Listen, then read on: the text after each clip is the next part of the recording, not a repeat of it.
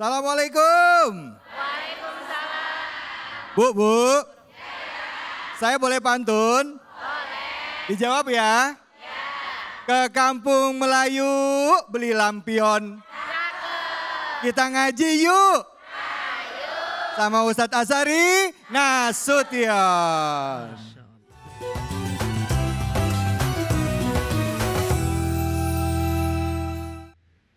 Alhamdulillahirrabbilalamin. Assalamualaikum warahmatullahi wabarakatuh.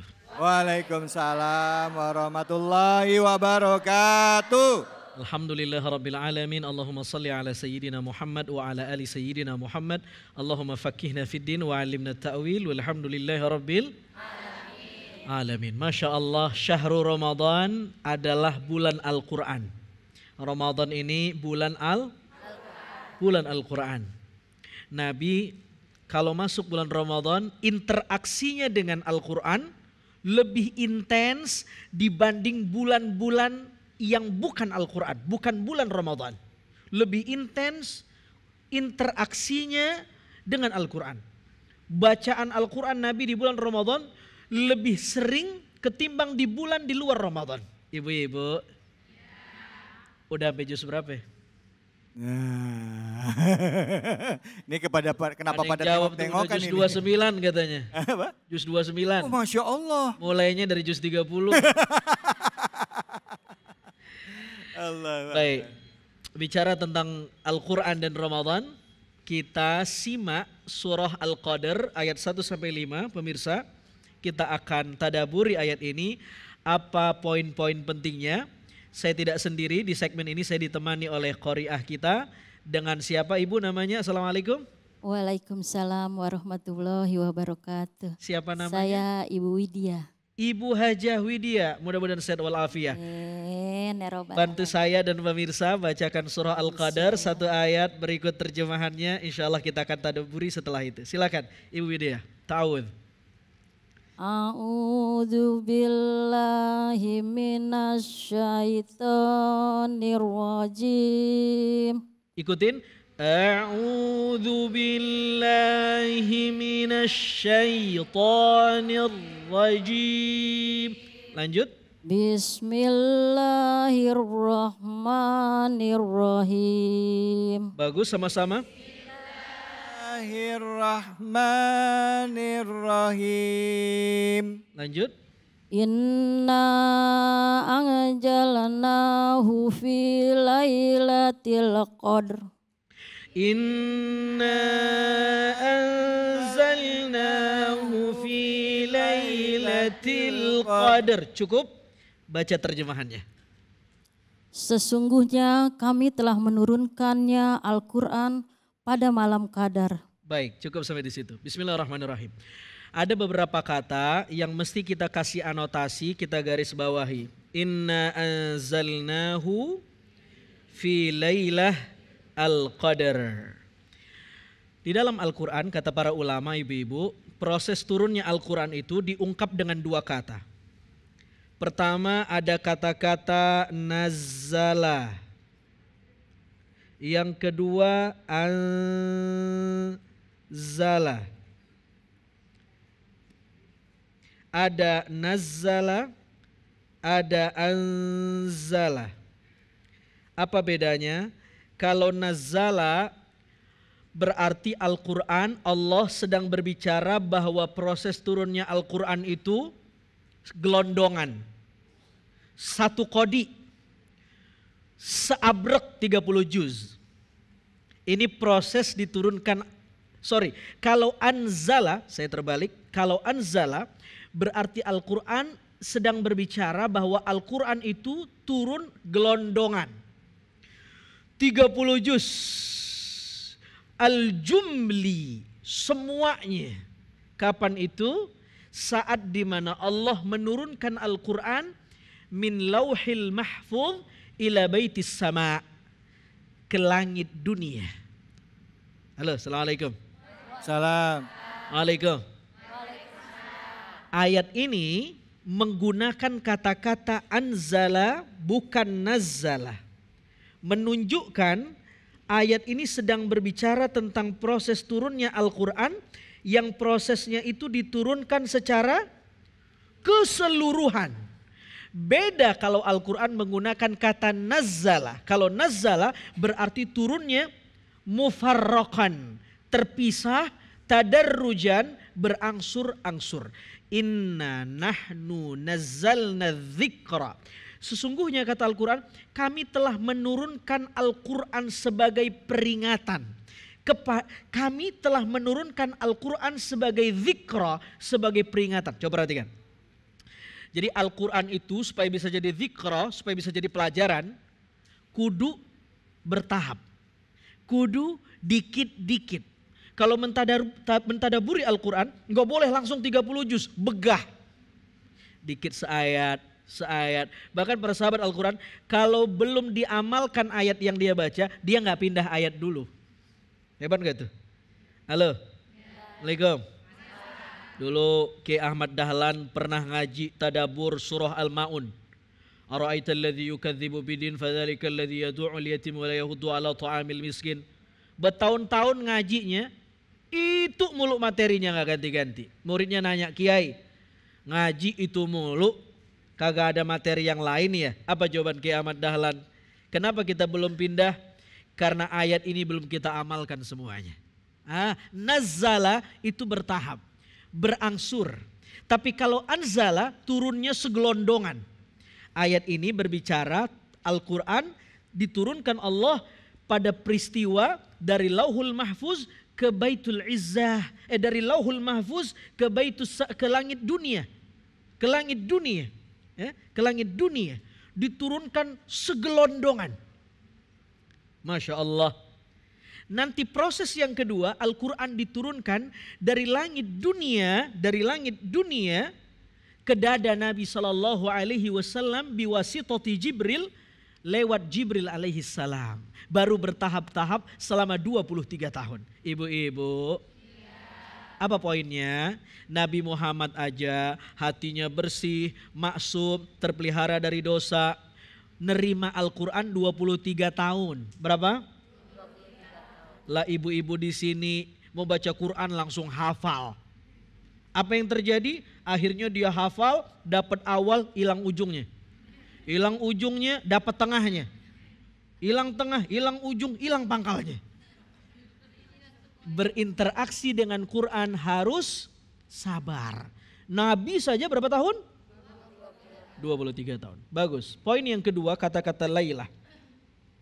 Lailah artinya malam kami telah menurunkan Al-Quran dari lauhul mahfuz ke langit dunia gelondongan al-jumli an-nuzul al-jumli secara sekaligus pada waktu malam. Malam itu malam yang mulia. Ini menarik sekali. Kenapa ya? Setiap Al-Quran bicara tentang sesuatu yang hebat itu biasanya setting waktunya bukan siang tapi malam tahajud. Wa minal lail fatahajjad bihi. Siang atau malam? Isra Mi'raj. Subhanalladzi asra bi 'abdihi lailan. Lailan, siang atau malam? Malam. Lailatul Qadar, inna anzalnahu fi lay. Siang atau malam? malam? Kenapa setiap bicara yang dahsyat-dahsyat malam bukan siang? Yang bisa jawab saya kasih hadiah brosur umroh. Brosur. Brosur doang. Ya, jangan umrohnya nggak balik iya, iya. modal saya. Iya iya. Kenapa setiap bicara yang dahsyat Allah bicara waktunya malam, bukan siang. Karena malam itu waktu prime time, prime time. untuk komunikasi sama Allah. Yeah. Waktu yang dahsyat untuk dekat sama Allah. Ibu-ibu, ya. malam itu waktu buat deket mirip pengantin baru. Pengantin baru kalau mau bulan madu, malam orang Arab ngomong begini. Ya Laila, tul. Ya subuh, kif. Wahai malam, panjanglah. Wahai pagi, kalau bisa jangan datang. Tuh, diomelin pagi sama dia. Malam mulu dong ya. iya, kenapa orang Arab yang pengantin baru bulan madu diomelin sama dia waktu pagi? Waktu malam dia bangga-banggain. Lama ngapa sih? Eh pagi lu jangan datang apa? Begitu. Ya. Karena dia pengen intim dengan pasangannya. Pengen deket sama pasangannya. Pengen apa namanya eh, mengekspresikan cinta dan kedekatannya dengan pasangannya. Ya Bu ya? Nenek-nenek ngangguk aja nih kayaknya. Halo, Assalamualaikum. Salam. Itu kalau pengantin Arab. Lo kalau pengantin orang mana nih? Orang Bekasi. Bojong Bekasi. Kagak pagi, kagak malam itu ya. Uh, Tuh, hajar aja. ya ilaha illallah. Ini siapa lakinya ini? Bu, bu, bu. Ya. Ini malam itu luar biasa. Pelajaran yang kedua, belajar dari ayat ini. Kalau mau deket sama Allah, bangun malam. Hidupkan malam. Malam. Dulu, para salafun soleh, orang-orang soleh terdahulu, mereka melatih anak mereka untuk bangun malam sejak bayi. Untuk qiyamul lail sejak bayi. Gimana caranya? bayi baru lahir itu emaknya sengaja bangunin sampai anaknya nangis. Terus tiap hari disuruh sholat enggak bangun aja. Habis bangun diempokin lagi biar tidur. Itu begitu orang dulu. Lah kalau orang sekarang kan beda. Lihat anaknya bangun malam-malam malah diempokin biar tidur. Salah. Kudunya bangunin biar melek. Kalau itu dilatih lama-lama matanya terbiasa bangun malam. Kalau sudah gedean dikit terbiasa sholat subuh. Kalau sudah balik naik sedikit lama-lama dia gemar tahajud. Masya Allah. Amin ya Allah. Kalau kita gimana? Bangun, tidurin pak, tidurin pak, tidurin pak. Bangun lagi, pak, pak, boboin pak, boboin, boboin pak. Begitu anaknya udah besar, membangunkannya seperti membangun anak macan karena taringnya udah tumbuh. Bangun dek, apa sih mah? Capek ini sekolah. Tuh, Masya Allah, melatihnya tidak dari kecil. Halo, Assalamualaikum. Salam. Waalaikum. Lanjutkan ayat kedua. Silahkan Ibu Widya. Wa ma Ulangi. wa ma adraka ma lailatul qadr. Wa ma adraka ma Lailatul Qadar. Terjemahannya? Dan tahukah kamu apakah malam kemuliaan itu? Masya Allah. Apa malam kemuliaan itu? Kalau Al-Quran mengungkap dengan kata-kata wama adroka, wama adroka, menunjukkan peristiwa yang sedang dibicarakan, ini sesuatu yang sakral. Lanjut, ayat ketiga. Lailatul qadri khairum minal fissahr. Lailatul Qadri khairum min alfi syahr. Al-Quran membocorkan apa malam Qadar itu. Malam Qadar adalah malam yang penuh dengan kemuliaan. Saking mulianya dia lebih baik daripada seribu bulan. Kata-kata seribu di sini bukan berarti angka di bawah seribu satu atau angka setelah 999, bukan. Maksud alfi syahr adalah angka yang gak terbatas. Kemuliaannya gak terbatas. Mirip kalau kita bilang ulet kaki seribu. Emang udah ada yang pernah ngitung kakinya berapa? Pintu lawang. Emang udah ada yang ngitung pintunya? Enggak. Ngapa dibilang sewu? Karena sama banyak. sama ini. Lebih baik daripada seribu bulan. Maknanya tidak terbatas. Masya Allah. Mudah-mudahan Allah memberikan karunia-Nya kepada kita. Amin. Kita mendapatkan cipratan berkah Lailatul Qadar. Amin. Terlalu nggak pantas kalau kita doa, mudah-mudahan saya dapat Lailatul Qadar. Aduh, rasanya bagaimana ya? Ya. Ibadah kita masih kurang. Minimal kena cipratannya Lailatul Qadar. Alhamdulillah. Lillah. Sama-sama kita sadakallah.